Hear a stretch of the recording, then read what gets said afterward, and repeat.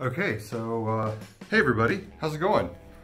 Um, it's a cold winter day. We've got some snow on the ground outside, but I've come out to my workshop. See I got my lighting installed um, in a very uh, Ukrainian fashion here. It's just a bunch of these magnetic LED uh, lights that I actually brought with me when I moved here from America, but they just, they come uh, you know, with one of these little power bricks like you'd have on a laptop, which plugs into any type of current. So just put a plug adapter on there, everything's fine. I got some uh, some brighter LED bulbs installed uh, in the uh, outlets that uh, were already here. So we've got pretty good illumination in here now. And uh, I've got this huge pile of wood right here. That is all oak. Um, well, it's like 90% oak. There's a little bit of pine. This is this is pine right here on top. But uh, I've got one board that I've successfully planed down with my uh, with my jet planer. But um, as I kind of expected, you know, dust was going to be a problem, and uh, you can maybe see up in there, things all clogged up with dust. On this side, it's it's pretty good too. I mean, there's the thing just, you know, that's that's not even one board.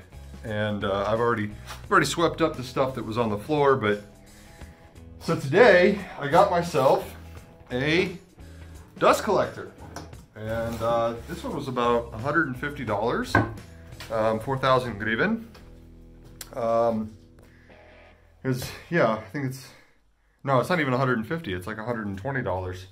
Um, which is way cheaper than the uh, the Jet version. This is, uh, I, does it even have a brand name? It's got to, right? Um, uh, it is uh, Aurora. And, um, you know, my, my thinking on this, I thought about making my own, just like buying one of the little shop vacs for like, you know, 50 or 100 bucks, and just kind of making my own out of, um, so we order water, uh, drinking water every month, and they deliver it in uh, these, you know, these big bottles. And the bottles kind of come to a cone at the top, and they would make perfect dust collector shape. You know, I could just drill a couple holes in it and, and run the vacuum through it. But, you know, for 120 bucks, I got one that was purpose built and uh, came with this uh, nice non-collapsible hose.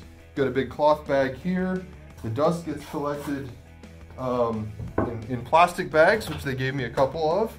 And I've got this uh, box of spare parts. Um, those look like wheels, I guess. We've got some, uh, which is good, it's gonna be mobile. Uh, we've got a little bag of nuts and bolts there. And uh, yeah, so it's pretty clear what all that stuff is. The really interesting part is that there's um, no instructions. The only piece of paper it came with was the receipt from Epicenter. Um, so now I get to, uh, I guess I'm just gonna go to the Epicenter webpage and uh, look at a picture of it and uh, try to put it together based on the picture.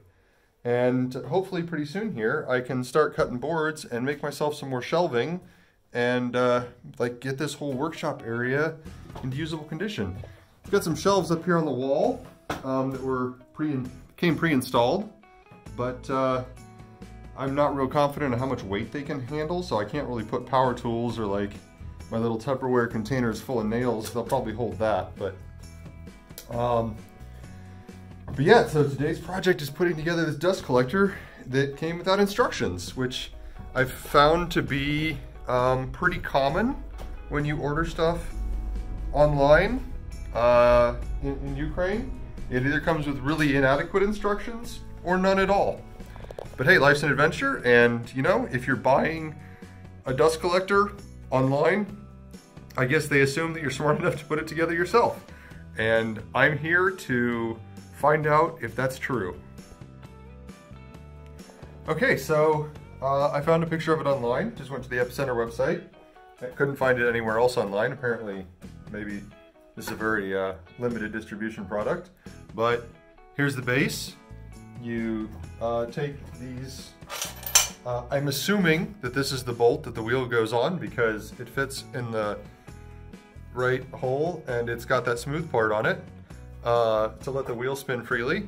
And uh, it's pretty cool. It's, uh, it's six-sided plus it has the Phillips head um, space on it so you can tighten it with a variety of tools. And uh, well, I think I'm gonna set this up and maybe do a time lapse. Um, hopefully it'll work better than the last time lapse I tried to do.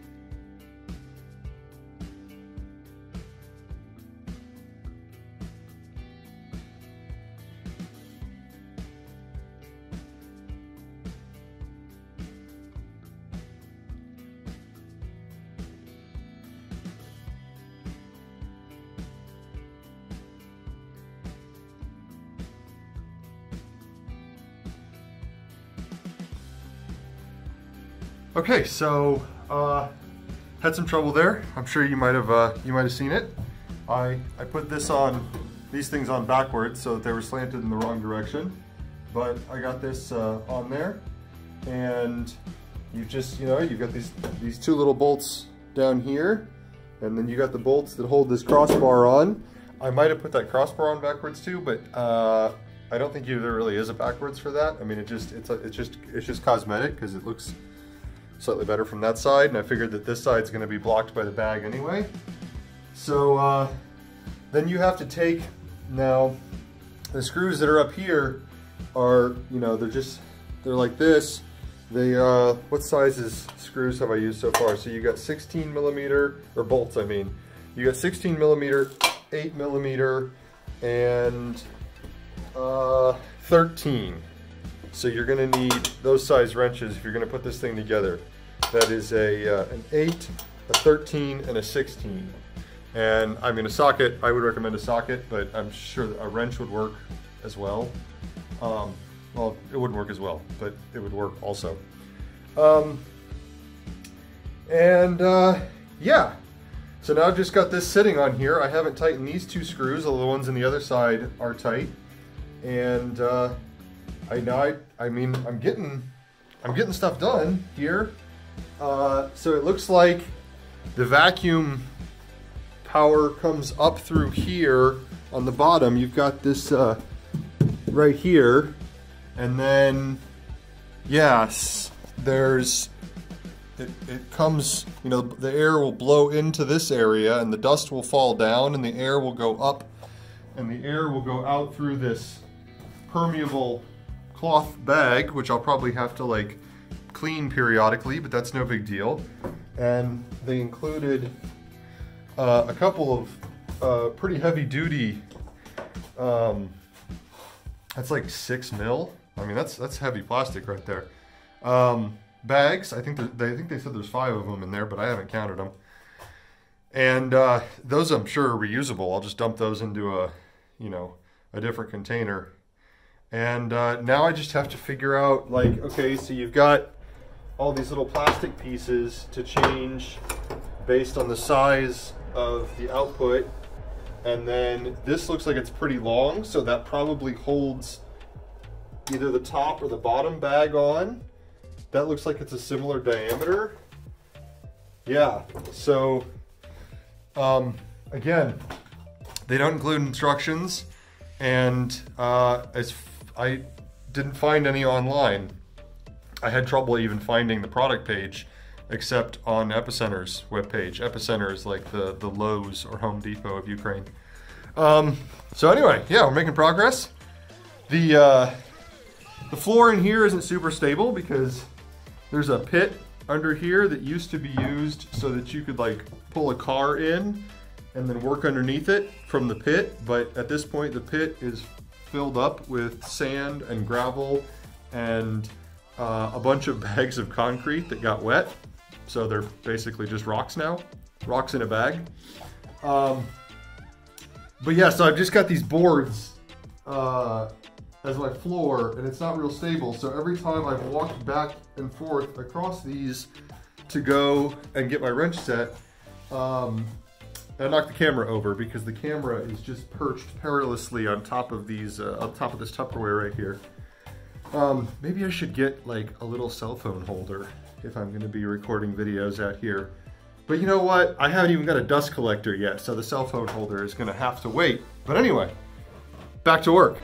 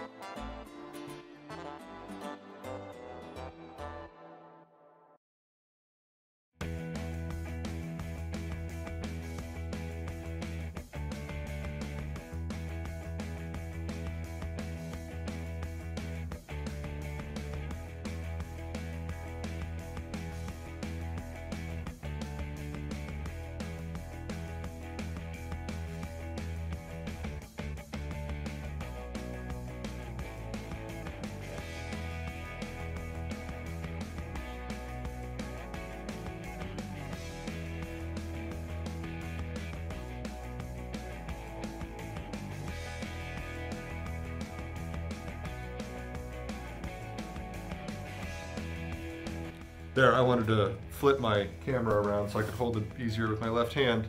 And uh, we've got we've got Doctor down there looking pretty anxious. Doctor's not a big fan of power tools.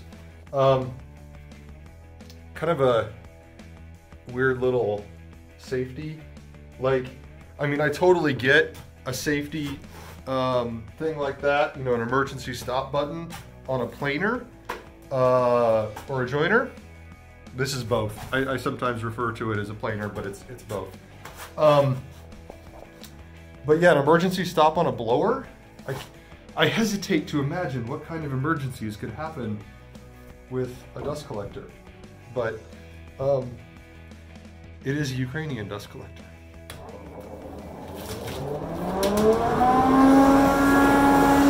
Ooh, that's good suction. Yeah, that's good suction. Oh,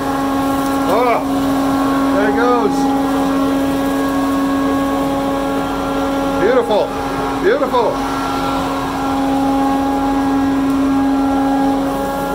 Oh, just all the dust, all the sawdust. Okay, I have dust collection.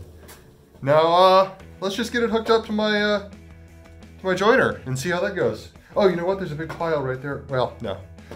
Yeah, let's, let's, uh, hook it up to the joiner and see how that goes. Okay, so, um, here it is. I turned it on for half a second while it was up on the uh, table there, and then I realized what a stupid idea that was. Um, and I decided that I was gonna put away all my tools. You know, I really should not be keeping little pieces of metal on top of my planer. That's a really bad idea. um, I still haven't figured out which end of the hose I need to use, but I've got this little thing. Not a terrible contraption, but um, you want to make sure that you know how it goes together because it's not immediately obvious if it's already taken apart. It might be kind of hard to put back the way it goes, but I've just got to figure out, yeah, so I've got these little, uh, those little plastic, those little black plastic pieces over there. Um, I do have to say that putting the, the bag on the bottom, they could come up with some better way to do that because um, if I had to hold the bag and tighten the metal band simultaneously, um, that's just really, really difficult. And, and, you know, with, with a bag that size, I mean, yeah, I have a small workshop, but I can create a lot of sawdust in one afternoon. Um, I'm probably gonna have to think up, maybe I can 3D print something that will uh, make that a little bit easier somehow. I don't know. Um, some kind of ring that would just be a friction fit uh, so it would hold the bag in place or maybe some clips or something. I don't know. I'll, I'll, I'll figure that out. Um, that's what I got a 3D printer for. But, uh, yeah, let's, let's, uh, moment of truth, you know?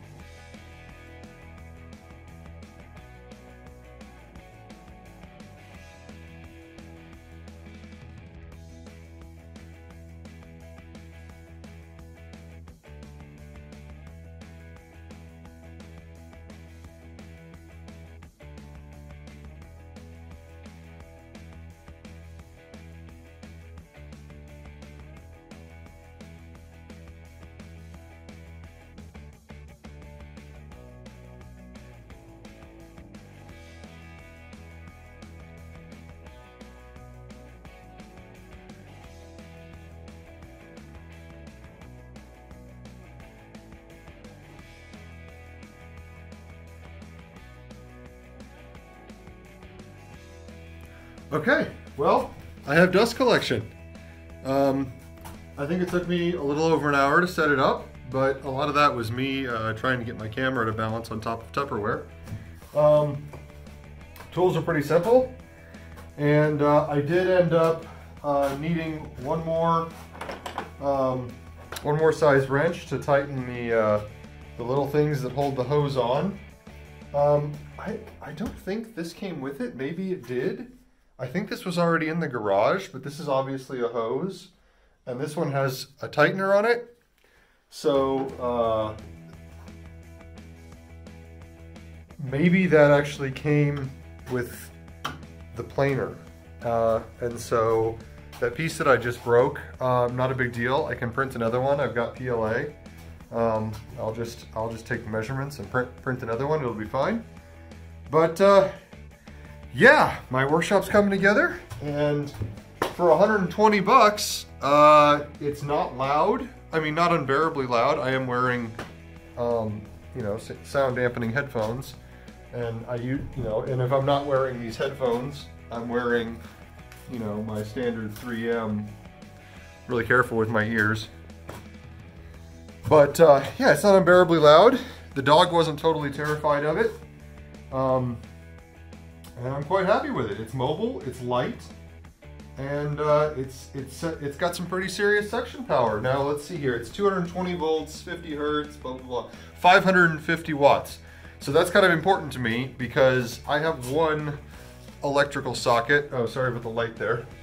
Yeah, I have one electrical socket in my workshop here. Uh, so I'm running off of one circuit and I don't have access to the switch box that this is the circuit's on. So I don't know how many watts I can, how many amps I can pull um, before things go south. And I was kind of worried about that. So they did have more powerful, um, you know, uh, dust collectors. You know, I could have gotten a 1500 watt, but I just don't need it in the small of a workshop. I'm not I'm not running multiple tools at one time. And, um, and I needed to keep it low enough that it's not going to blow a fuse because I need to be able to run it simultaneously with the planer and simultaneously with the table saw once I eventually get one. But yeah, this is going to keep this place, uh, make it much easier to use and uh, much nicer to work in.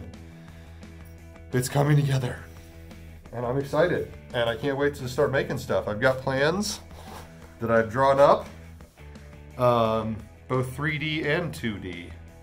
Uh, drew them up both virtually and on paper. But uh, yeah, my first project is going to be a little uh, island for our kitchen because I need a place to, uh, to where I can really work pizza dough and bread dough and stuff. And there's just not enough countertop space with, with the baby and the coffee. Like, it's just too much. We got the, the mixing, the mixer and the microwave and the, and the toaster and all the baby stuff and the tea kettle. There's just not um, a lot of free counter space in the kitchen, but there's a lot of free floor space. So I'm gonna put a kitchen island in there with uh, probably a pine frame and an oak top, or maybe I'll make the whole thing out of oak. Why not? I've got a lot. But, um, all right, so that's my, uh, that's my Aurora. Uh, I think it was called the 200 or something. It's the only dust collector they make, so you can't confuse it with others. And it's a good little good little buy for 4,800 Griven, which right now is less than 150 bucks.